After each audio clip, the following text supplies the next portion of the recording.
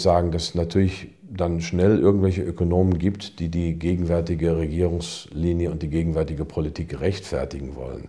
Also nehmen wir Fratscher, der ist für mich so das Beispiel eines Gefälligkeitsökonomen. Ähm, er hat vor drei Jahren, vor zweieinhalb Jahren mit Seitenblick auf mich und andere noch vor Panikmache vor der Inflation gewarnt. Und heute ähm, gibt er zu, dass die Inflation da ist. Heute sagt er, machen wir Preiskontrollen.